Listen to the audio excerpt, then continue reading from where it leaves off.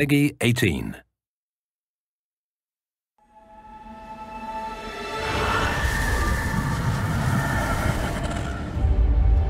In Middle-earth, Shadow of Mordor, you are Talion, a ranger of Gondor and a guardian of the Black Gates, until the night Sauron and his Black Captains return to Mordor, killing everyone you've ever loved and leaving you for dead.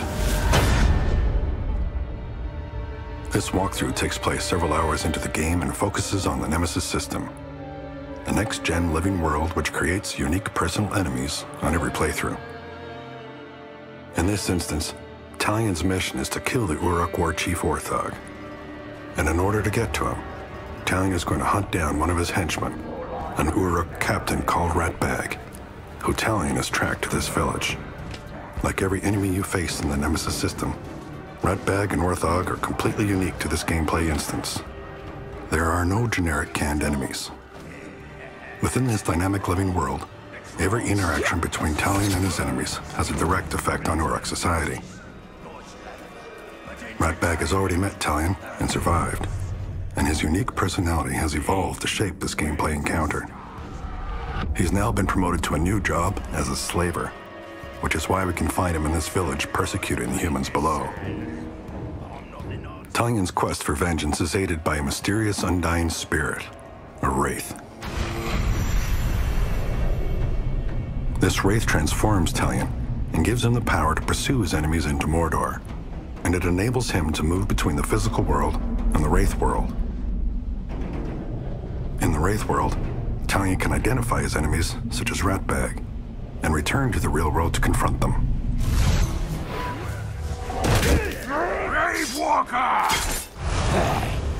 You left my master to burn, so I'm gonna cut you slow and savor every twitch.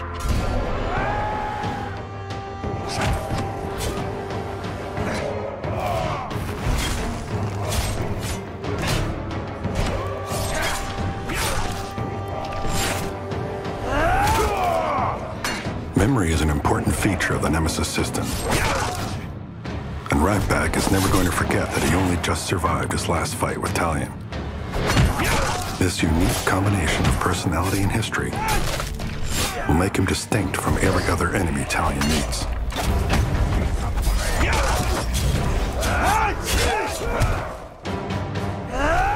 Ratbag is a coward at heart, and he's going to run as soon as the odds turn against him.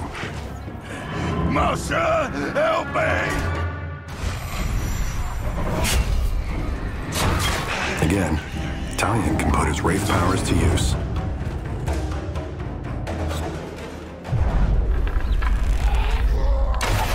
One of the key powers of a Wraith is the ability to dominate your enemies through terror and bend them to your will.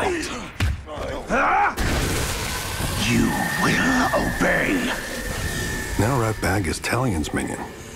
He can be ordered to spy and feed back information, to spread terror by carrying the message of what he's witnessed here to build Talion's legend among Sauron's forces, or to be sent on a mission to assassinate his leader. Each choice creates a unique mission in the open world of Mordor.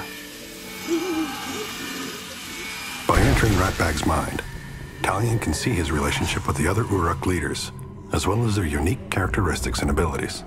Ratbag's master and the war chief in this area is Orthog, who has also had a previous encounter with Talion. In his case, a battle which left him severely scarred on the face.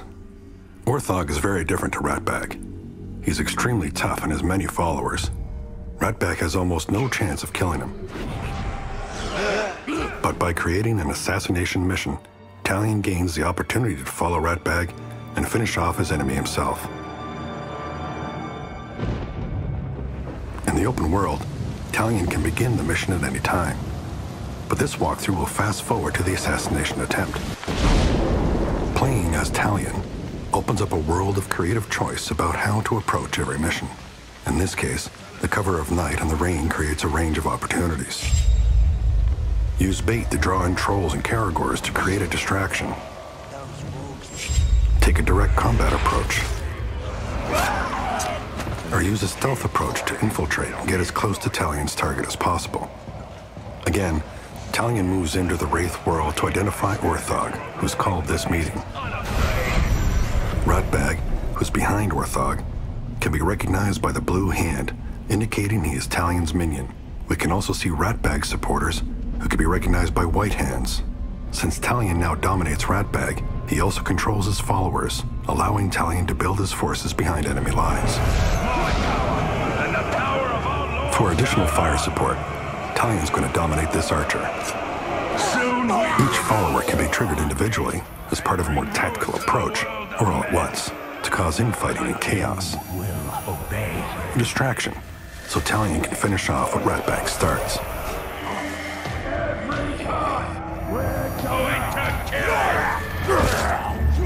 Betrayed us! Deal with a great Ratbag's attack severely damages Orthog, although he has survived, Talion now has a major advantage going into battle. That shuts you up.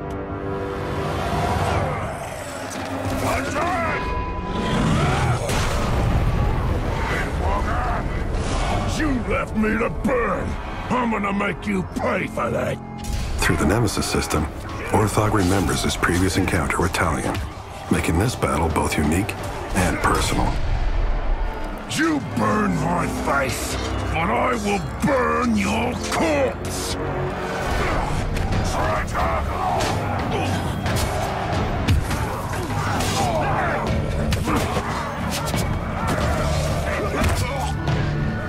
Run,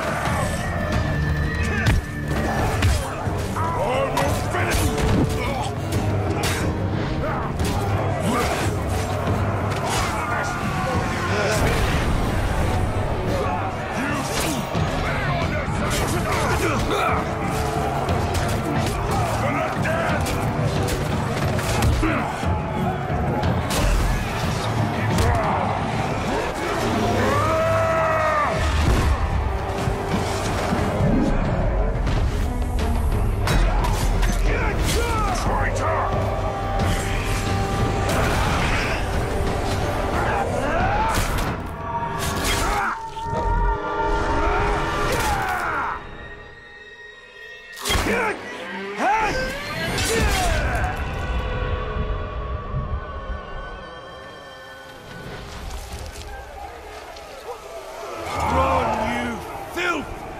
Tell your master, I am coming! Let them carry word back to Sauron. When he comes for us, our pawns will be in place, and all Mordor will burn.